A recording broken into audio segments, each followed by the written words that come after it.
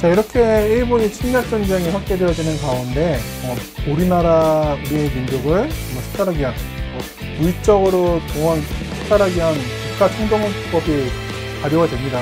이 내용들에 대해서 살펴보도록 할게요.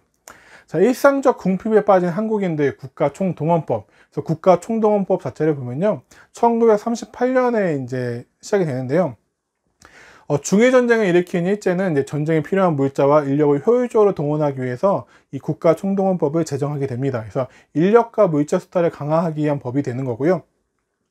그래서 1938년 4월 달에 이제 일제가 요거를 이제 제정하는데, 어, 요거는 4월 1일에 공포돼서 5월 5일부터 일본에서 시행되었어요. 그러니까 이 국가총동원법, 일본이 제정한 이 국가총동원법은요, 어, 식민지인 조선에만 적용된 게 아니라 이제 일본을 비롯해서 식민지인 우리나라 조선, 타이안 이 모든 지역, 일본의 영향력 하에 있던 모든 지역에 다 발효가 됐던 법이 바로 이 국가총동원법이 되겠습니다. 그러니까 어, 일본이 우리나라에서만 시행됐다 이거 아닙니다. 일본 전체, 일본 본토에서도 시행됐던 것이 바로 이 국가총동원법이 되겠습니다.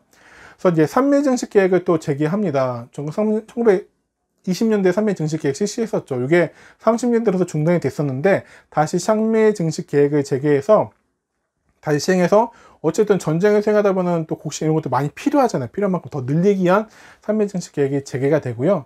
또 이제 미국 공출제를 시행해요. 미국, 미국 쌀이죠, 쌀. 쌀을 공출 이제 다 가져가는 거예요. 그래서 일제는 군량미를 확보하기 위해서 농가마다 공출량을 할당을 한 다음에 곡식을 유통하지 못하도록 사사를 곡식을 사고 파는 것이 아니라 수확한 곡식들을 다 일본이 가져가는 거예요. 그래서 식량 배급제도 시행해요. 1940년에 식량도 다 가져간 다음에 배급해 주는 거죠. 그래서 전행, 전쟁이 진행될수록 식량 배급량은 줄어들고요. 그러니까 우리가 먹을 게 너무 없죠. 그래서 어, 또 이제 만주에서 비료 사용, 비료로 사용돼서 콩, 깽묵. 아, 저는 먹어, 선생님 먹어본 적도 없어요. 여러분들 먹어본 적 없죠? 그러니까 콩 이런 거, 가루 아니면 찌꺼기 이런 것들이겠죠? 식용으로 배급해 주거나 하루에 죽 한 그릇 먹기 운동. 여러분들 죽 한 그릇 먹고선 버틸 수 있어요? 당시 이 죽이 우리가 알고 있는 뭐 본죽 이런 데서 파는 뭐 전복죽 뭐 이런 거 아니잖아요. 정말 그냥 물 많이 넣고 쌀 조금 넣고서 이제 정말 그 불려 먹는 그러한 죽한 그릇 먹기 운동, 절미 운동, 절 줄이는 저 반으로 무엇을요? 쌀, 쌀에 이제 절약하자 이런 거죠. 운동 등을 실시합니다. 그래서 이제 공출은 국민이 이제 국가의 수요에 따라 농업 생산물이나 이제 기물 이런 물건 생산된 거 이런 것들을 내놓는 것을 공출이라고 해요. 근데 일제는 이제 해마다 이 공출의 양을 늘려가요. 그래서 1942년에는 쌀의 생산량 한반도에서 쌀이 생산된 거에 55.8%를 어, 이제 공출로 공출의 명목으로 이제 가져가거든요 일본이. 근데 1943년에는 전체 쌀 생산량의 68%를 공출로 가져갑니다. 그 정도로 이제 가져가고 식량을 배급해주고 이 식량 배급해주는 양은 점점 점점 점점 줄어드는 그러한 힘든 생활이 이어지게 되는 거죠. 또 이 공출을 쌀만 실시한 게 아니고요. 공출제도 실시하면서 각종 금속을 공출해 갑니다. 금속들. 왜? 전쟁을 하다 보니까 뭐가 필요해요? 그렇죠. 탱크도 만들어야 되죠. 총도 만들어야 되죠. 총알도 만들어야 되죠. 다 뭐가 들어가요? 금속이 들어가는데 이것들은 이제 지하정 이렇게 개발해가지고 이렇게 감당이 안 되는 거예요. 또 특히 엄청난 자원 부국인 미국이랑 전쟁도 해야죠. 또 어쨌든 이빨 빠진 호랑이지만 중국도 뭐 어디나 많은 그 군대의 소리를 바탕으로 또 싸워야 되죠. 전쟁터는 점점 넓어지죠. 동남아시아가 늘어나고 있죠 그러니까 막대한의 무기들이 필요한데 이거를 만들 만한 금속이 부족하니까 일본이 놋그릇, 놋그릇, 놋대야, 수저, 농기구, 교회와 사찰, 교회와 절에 있는 종까지도 다 가져갔다가 이걸 다 녹여가지고 뭐 하는 거 총알 만들고 총 만들고 하는 거야. 그 정도로 정말 일본도 이제 막 빠진 그 막다른 공지에 물린 거죠. 그래서 한국인의 이제 일상생활을 막 통제하기 시작을 합니다. 한국인의 소비, 통제, 옷감이나 음식과 같은 생필품이 품귀 현상이 일어나고요. 그러다 보니까 어떻게 돼요? 부족하니까 암거래가 늘어나게 몰래 몰래 거래 암거래가 늘어나게 되고 수요와 공급의 법칙 수요는 많은데 공급이 안 되다 보니까 물가가 상승하게 되고 가난한 사람들은 사 먹지 못하고 힘들게 계속해서 이제 죽어나가게 되고 이런 어려운 삶들이 이어지게 되고요. 또 이제 남성 카키색 국민복 그리고 여성은 몸빼를 강요해요. 그래서 우리가 몸빼 지금 도 집에서 이렇게 여름에 이럴 때 좀 편하게 입잖아요. 시원하기도 하고 선생님도 뭐 가끔 집에서만 여름에 입을 때 있는데 이제 몸 빼는 전시치료 들어가자 일제는 이제 남성은 카키색 이런 것들이 있고 편하게 작업복이 쉽게 말해서 입고 편하게 작업할 수 있는 그런 것들이 강요 옷까지도 강요했던 것이 바로 이 당시의 모습이라고 할 수 있겠습니다. 자, 국가총동원법 한번 볼까요? 제 1조.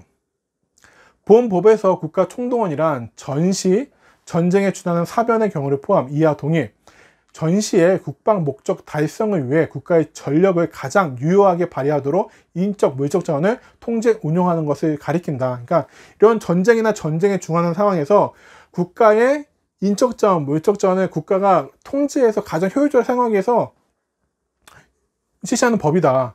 정부는 전시의 국가 총동원선 필요한 경우에는 칙령에 정하는 바에 따라 칙령 나오죠. 칙령은 뭐예요? 황제가 내리는 명령, 칙령이라고 하죠. 이때가 아직 천황이 어쨌든 뭔가 정치적으로 정, 존재할 테니까 칙령이 정하는 바에 따라 제국 시민을 정, 징용하여 총동원 업무에 종사시킬 수 있다. 그러니까 칙령에 따라 법에 따라서 국가 총동원법에 따라서 국가가 제국 시민들, 제국 내에 있는 모든 사람들을 불러다가 부려먹을 수 있다 라는 것이 국가 총동원법의 내용들이 되겠죠. 자 이렇게 일제는 우리나라 이제 인적 물적 자원들 중에 이제 물적 자원들을 가져가기 위해서 산미 증식계도 시작하고 국가총동원법에 따라서 미국 공출제, 금속 공출, 일상 통제 등을 해 나가기 시작합니다. 네, 이번에는 일제 인적 스타일, 인적 스타일, 전쟁을 벌어지는 과정 중에 어, 우리나라 사람들을, 우리 한국인들을 어떻게 강제적으로 동원해서 징용, 징병, 더 나아가서 일본군 위안부까지 어, 스타일을 간접 살펴볼게요. 자, 일제 인적 스타일 먼저 이제 군대입니다. 강제로 이제 군대를 끌고 간 거죠. 자, 첫 번째 1938년에 지원병제를 실시했습니다. 지원병제. 지원병제 말 그대로 지원해서 가는 거지만 실제로는 강제 동원의 성격이 짙었다고 하고요. 1943년에는 이제 전쟁이 정말 막 이제 약간 밀리고 이러면서 절정에 다다랐을 때는 학생들까지 이제 강제로 전쟁터에 동원하는데요. 어, 태평양 전쟁을 도발한 이후 미국과 이제 전쟁을 하면서부터는 14세 이상의 소년들도 소년병으로 모집해서 이제 가게 됩니다. 여기까지는 그래도 뭐 지원병이란 말이잖아. 어쨌든 뭐가 지원해서 간다는 느낌, 뭐 실제적으로 강제적인 모습들도 많았지만요. 근데 이제 1944년 이제 전쟁이 막 밀리기 정말 밀리기 밀리니까 아예 일본이 1944년에는 징병제를 시작합니다. 징병은 아예 그냥 대려 우리나라가 지금 징병제 국가잖아요. 그렇죠? 지금 많은 남학생들도 이제 스무 살이 넘으면 신청검사 받고서 군대에 가야 되죠. 자원이 아니라 지원이 아니라 징병, 의무적으로 가야 되는 거죠. 징병제를 1944년에는 실시를 하죠. 그래서 일본이 패망하는 1945년 8월 15일까지 수많은 한국인 청년들이 전쟁터로 끌려가게 됩니다. 뭐 이렇게 이제 군대 전쟁에 투입되기 위해서 징병된 것이 있고요. 또 한편은 강제노동, 징용이라고 하죠. 강제노동에 동원된 것들도 있습니다. 그래서 1939년에 국민징용령, 국민징용령을 내려서 어, 탄광, 군수공장, 군용활주로 공사 등에 어, 투입하기 위해서 이제 많은 노동자들로 끌고 가게 되고요. 또 우리나라뿐 아니라 일본 북쪽이나 아니면 중국, 동남아시아, 사할린 등지로 끌려가서 엄청나게 혹사를 당한 이들이 많이 있었습니다. 이게 지금 앞에서 얘기했던 이제 알고 대표적인 뭐 구남도, 하시마섬 이런 것들 그래서 그 영화 있었죠. 구남도라는 영화도 있었죠. 거기서 보면은 얼마나 정말 제대로 잠도 못 자고 제대로 먹지도 못하고 제대로 입지도 못하고 제대로 월급도 받지 못하고 그렇게 끌려가서 일을 했는지. 근데도 지금 그때의 보상 배상 해달라고 그러니까 하니까 지금 그거 판결 내렸다고 일본은 지금 우리나라한테 압박을 넣고 있는 거 아니에요. 정말 사지하고 거기에 이자에 이자에 이자에 이자에 이자를 쳐서 보상 배상을 해도 모자랄 편에 아이고 참 문제가 많습니다. 자 근로보국대 건설 현장에 동원하기도 하고 학생 근로보국대 어린 학생들이 식량 증산 사업에 동원하는 일들도 있었습니다. 자 그리고 이제 정말 문제 아, 모든 게 문제지만 정말 그런 게 일제 무일적 스타 여성 동원 부분인데 여자 정신 근로령 1940년에는 한국 여성들의 군수 동원 군수 공장에 동원하는 일도 있었고 그러니까 이런 여자 정신 근로령에 의한 것은 이제 그 남자들이 증용 가서 이제 공장이나 탄광이나 이런 데서 일하듯이 여장 여성들도 이제 군수 공장에 가서 이제 노동자로 일하는 거예요. 노동자로 일하는 건데 이거보다 좀 더, 좀 더가 아니죠. 어쨌든 가슴 아픈 게 바로 일본군 위안부죠. 일본군 위안부. 그래서 전쟁터에 성노예로 강제 동원하게 됩니다. 그래서, 어, 이제는요, 10대 여성을 비롯한 젊은 여성들을 중국 남양군도나 아니면 중국이나 어제 만주 이쪽 쪽에 전쟁 지역을 끌고 가서 일본군 위안부라는 이름으로 끔찍한 삶을 성노리게 성노예적인 삶을 살도록 강요했죠. 그래서 어, 일본군 위안부, 위안부라는 위안을 주다는 뜻인데 약간 자발적인 의미, 내가 자발적으로 위안부로 간다는 의미가 있어서요. 또 성노예라는 표현도 아, 좀 가슴 아프잖아요. 말 자체도 우리 할머니들 아직 살아계시는 분들이신데 그래서 일본군하고 작은 따옴표 인형부어 써서 위안부라고 씁니다. 일본군 위안부 인형부 쓰는 건 요건 좀 이렇게 앞으로는 계속 이렇게 써줬으면 좋겠어요. 왜 그러냐면 일본군이 위안부라고 불렀다 부른 이런 피해자들 이란 뜻이에요. 그러니까 일본군이 위안부라고 부른 하지만 우리 끌려가셨던 할머니들이 위안부 그러니까 자기가 직접적으로 이렇게 자발적으로 한 거 아니니까 위안부라고 부르지 말고 일본군, 일본군하고 꼭 인형부어 써서 위안부, 일본군이 위안부라 불린 우리 피해자분들 이런 의미에서 꼭 이 표기 여러분들 지켜주시면 좋을 것 같습니다. 정말 끔찍한 삶이 아직도 현재 진행형이죠. 이런 인륜 반인륜적인 죄를 저질렀으면 정말 좀 사과를 했으면 좋겠는데 좀 우리 할머니들이 한분한분 정말 하늘나라로 가고 계시는데 정말 마음의 응어리가 조금 그래도 풀리고 한을 좀 풀고 하늘나라 가실 수 있도록 일본 정부가 좀 사죄를 했으면 좋겠는데 뭐 지금 최근에 뉴스를 봐도 지금 도굴에 세워진 평화의 소녀상을 두고서 정말 일본이 하는 짓들을 보면은 정말 사람의 탈을 쓰고 어떻게 저렇게 할 수 있을까라는 생각이 듭니다. 그래서 역사를 가르치면서 조금 한쪽으로 치우치고 싶지는 않지만 이런 문제들은 한국인이다, 일본이다라는 문제를 뛰어넘어서 뭔가 평화의 관점에서 그리고 보편적인 그러한 인간, 인류애라는 관점에서 음, 조금 정말 반성해야 돼. 일본이 반성해야 될 지점인 것 같아요. 이거는 한국인, 일본이 문제가 아니고요. 인간 존엄에 대한 문제 그 자체이기 때문에 일본이 어쨌든 좀 상식적으로 나왔으면 하는 바람이 있는데 자, 그 시간이 좀 빨리 왔으면 좋겠다라는 생각이 듭니다. 그래서 이렇게 이제 지원병제, 학도 지원병제, 징병제, 거기다가 국민 징용, 징용을 가기도 하고요.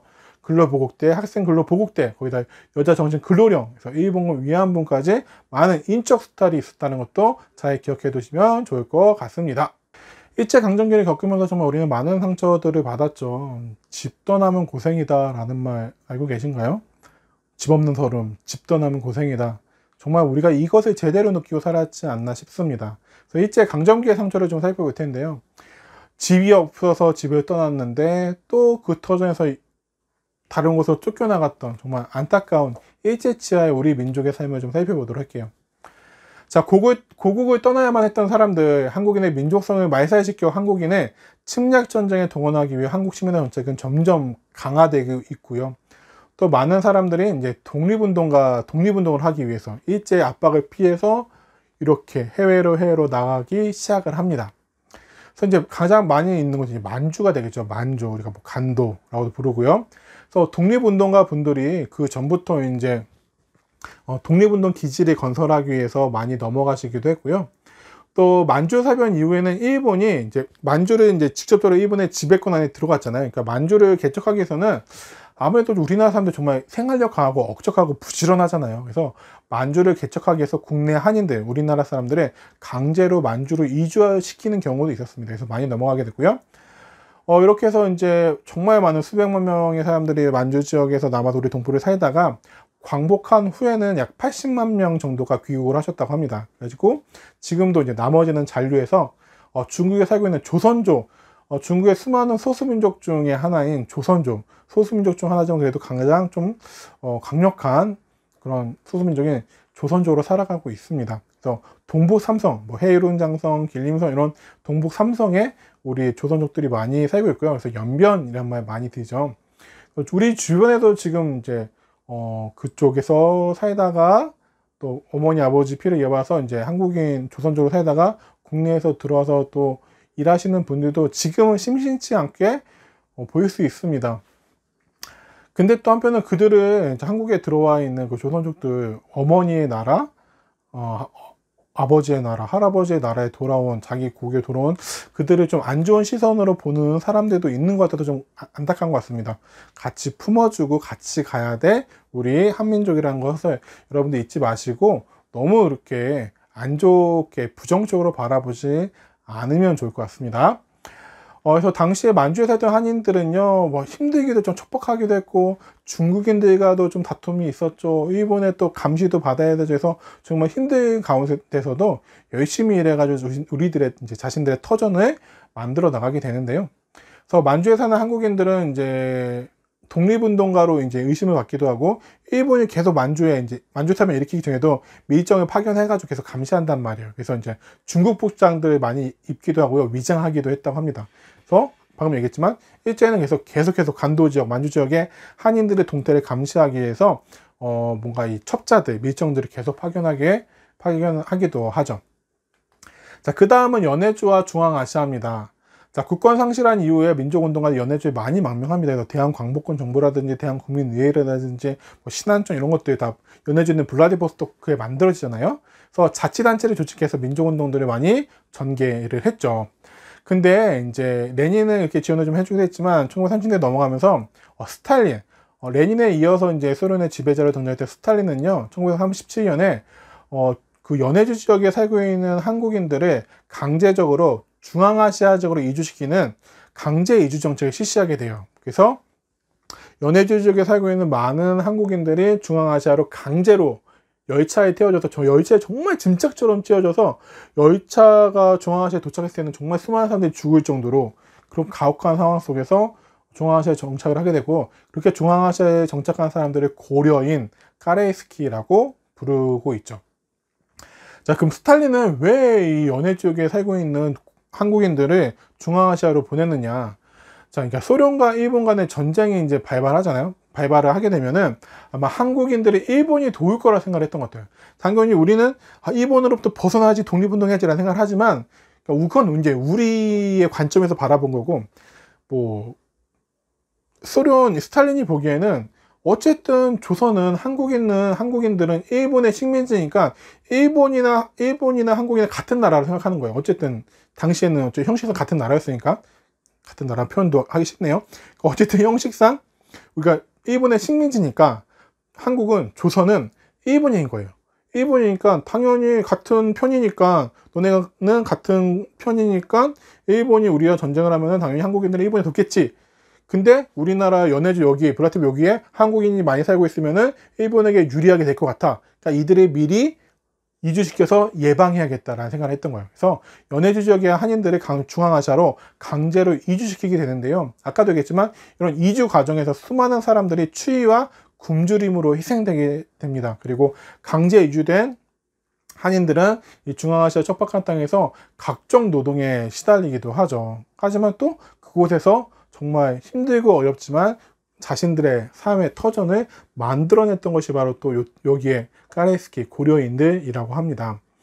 가장 대표적인 인물이 바로 홍범도 장군이 되겠죠. 봉오동 전투의 그 빛나는 어, 독립군, 의병이었다, 독립군이었던 이 홍범도 장군이 연해주 지역, 연해 쪽에서 이제 이따가 그때 레닌한테 훈장을 받기도 했던 인물입니다. 이 홍범도 장군은 레닌에게 직접 훈장을 받기도 했던 그런 걸출한 우리의 영웅이었는데 중앙아시아로 이때 강제 이주 당하게 돼요. 강제 이주 당해서 어, 이 중앙아시아에서 극장 수위로 일하시다 생을 마감하게 되시는데 어, 극장 수위로 일하실 때 정말 아이러니하게도 그러니까 이 고려인들의 극장에 이 홍범도 장군의 활약을 담은 그런 연극이 상영되기도 했다고 해요.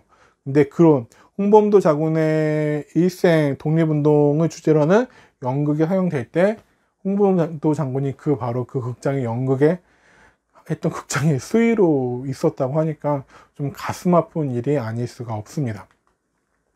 자, 일본으로 간 사람들 볼까요? 일본. 자, 1차 세계대전 이후에 저임금의 노동력을 확보하기 위해 한인의 이주를 허용했어요. 그러니까 지금 우리나라에도 보면은 조금, 어, 우리나라 이라기에서 오시는 제3국의 이제 동남아시아 지역이나 서아시아 이쪽 지역에 이제 노동자 분들이 계시잖아요. 그분들이 실질적으로는 같은 일을 하면은 같은 월급을 받아야 되는데 한국인들보다 좀 월급이나 이런 것도 좀 낮죠. 그렇게 차별을 하는 것 자체가 문제, 문제죠. 그죠. 뭐 어떤, 모든 사람들은 평등하고 똑같은 노동을 하면 똑같은 대우를 받아야 되는 게 맞는데 어쨌든 그들의, 그분들의 임금이 싸기 때문에 우리나라에 사업하시는 분들도 공장 하시는 분들도 그분들이 쓰는 거겠죠. 그러니까 그것과 마찬가지로 우리나라 사람들도 일본에 당시 일하러 가면은 일본인들보다 훨씬 더 월급, 임금, 월급을 적게 줘도 되니까 이제 한국인들이 썼던 거예요. 그래서 저임금의 노동력 확보하기 위해서 한국인들이 일본에 가는데 당연히 엄청나게 열악한 노동 환경에 어, 시달리게 됩니다. 그런 가운데 무슨 일이 있냐면 1923년에 관동 지역, 도쿄 이쪽 지역에 대지진이 일어납니다. 대지진이 일어나는데 이 관동 지진, 관동에 대지진이 일어나니까 이 관동 대학살 대참변이라고 하죠. 그래서 많은 한국인들이 여기서 이제 사륙을 당하게 되세요. 그러니까 지진이 일어나고 일본 정부의 입장은 지진이 일어나고 뭐 사회가 많이 불안해지잖아요. 그러면은 사람들은 뭔가 사회가 불안해지면 누구한테 그 원망을 돌릴까요? 이 불안을 빨리 해소해 주지 않는 정부의 뭔가 원망을 막 내뱉는단 말이에요. 그러니까 어 당시 이제 도쿄 이제 일본 정부 입장에서도 뭔가 이 원망 자신들에게 향하는 그 원망을 대신 받아줄 희생양이 필요했던 거예요. 그래가지고 한국인들이 막 되게 뭐 말도 안 되는 소문들 우물에 독약을 풀어가지고 우리를 죽이고 있다 아니면 되게 어린 여자아이를 강간했다 이런 말도 안 되는 소문이 퍼지고 퍼져서 사람들이 이제 분노한 이 소문들 말도 안 되는 유언비어를 듣는 일본 사람들이 한국인들 찾아가지고 막 죽여요 자경단이라는 조직을 만들어가지고 막 죽이는데도 죽이면서 이제 정부를 향하던 그런 원망 불만들이 이 한국인들한테 쏟아지는 거야. 한국인 때문이야. 한국인 때문에 조선인 때문이야. 라고 쏟아지니까 오히려 그냥 방관하고 오히려 조장하는데 일본 정부가 앞장서게 됩니다. 그래서 정말 그냥 경찰들 앞에서 일본, 일본 민간인들 한국인을 죽이면은 일본 경찰은 어쨌든 그걸 막아야 되잖아요. 근데 막 전혀 막지 않는 그런 모습들이 보입니다. 여러분들 영화 박열이란 영화를 보면요. 그 장면들이 나오거든요. 한번 기회 되면은 영화 박열 꼭 보시면 좋겠습니다. 그리고 이제 1930년대 후반이 되면요. 일본의 대륙 침략 본격화가 됨에 따라서 일본 각지와 사할린 지역, 일본 북쪽 이제 지금은 이제 소련 아니 러시아 땅인 사할린 지역에서 강제 노역으로 이제 끌려가기도 하고요. 그래서 이제 어 많이 이야기가 나오는 게 지금 세계 문화유산에 얼마 전에 등재됐던 그 하시마성 구남도 세계 문화유산에 일본의 근대 시설로 근대화를 상징하는 그런 시설로 등재하려고 했는데 여기가 우리 조선인들이 강제 노역당하던 그런 장소잖아요. 그래서 우리나라가 처음에 반대를 하다가 그러면은 일본이 약속을 했죠. 그러면은 정말 있었던 강제 노역, 강제 징용 그 내용들을 같이 설명서에 설명하도록 언급하도록 그 표기 명기하도록 하겠다라고 해서 우리가 그런 조건부로 찬성을 해줬어요. 세계문화유산 등재되는데 너희가 진짜 있었던 그 강제 징용의 역사적 사실을 그대로 너희가 팜플렛이나 안내문에 싣는다면은 그러면은 인정해주겠다, 뭐, 뭐 찬성해주겠다 했는데 근데 지금 그렇죠 전혀 그 약속을 지키지 않고 있죠. 국제사회에서의 한 약속, 국제기구인 유네스코에서 한 약속도 지키지 않는 원칙적으로 버리는 굉장히 일본의 지금 모습이 참 안타깝고요. 좀 뭔가 화내고 원망하기보다 좀 일본이 좀 변했으면 좋겠어요. 정말 상식적으로 좀 변했으면 좋겠고요. 그리고 이제 지금도 그렇지만 일본과 지금 사이가 되게 많이 안 좋잖아요. 그렇죠? 강제징용 그런 기업에 대한 우리나라 대법원 판결이 있었죠. 배상해라. 그래서 그 문제를 두고서 이제 작년부터 상당히 사이가 안 좋아지고 이제 보이콧 재팬 운동도 정말 작년에 심했고 지금 또 그래서 많은 거의 유니클로가 그렇게 장사가 잘 됐었는데 지금 뭐 적자가 난다고 하잖아요. 그런 여파가 이어지고 있습니다. 그런 것들이 그 지금까지 이어지는 역사 문제라는 것 실감이 나시나요? 그렇죠? 또 미국으로도 미주 지역으로도 많이 이주해 갔는데요. 하와이, 미국 본토, 멕시코, 쿠바 등으로 이주한 한인들이 단체를 조직해서 독립운동을 조직하기도 이제 지원하기도 했죠. 어, 학교를 세워서 민족교육과 이제 군사교육, 뭐 외교 활동 이런 것들도 해서 하면서 일제 식민지배 부당성을 폭로하기 위해서 미국에서 되게 활동을 많이 해요. 그리고 이제 그렇기도 한데 이제 태평양 전쟁이 발발하잖아요. 아까도 얘기했지만 소련의 스탈린도 어, 한국인들은 일본의 식민지니까 일본 편이겠지라고 해서 이제 강제로 연해지에 살고 있는 한국인들을 이주시켰듯이요. 미국, 미국도 태평양 전쟁에 일본이랑 전쟁이 발발하자 미국 내에 있던 일본인들을 격리시키거든요. 일본인들 격리시키는데 이때 한국인들도 같이 격리를 시켰다고 해요. 그러면 미국을 생각할 때도 어, 일본의 식민지인 한국이니까 한국도 일본 편 이렇게 생각할 수도 있었을 것 같아요. 자, 그리고 이제 멕시코 로 이전 한인들도 있죠. 이들 이제 사상수수바 이런 데서 일하셨는데 뭐 애니갱이라고 부르기도 했고요. 또 태평양 전쟁 발발 이후에 미국 한인들이 미국에 살고 있는 한인들이 대의전선 일본과 싸우기 한데 동참하기 위해서 뭐 한인 국방 경비 경위대 한인국방경희대라고 하는 뭐 군대도 만들기도 하고요. 이렇게 어, 미주 지역에서도 어렵게 어렵게 살고 있지만 독립을 위해서 노력하는 많은 한국인들이 있었습니다.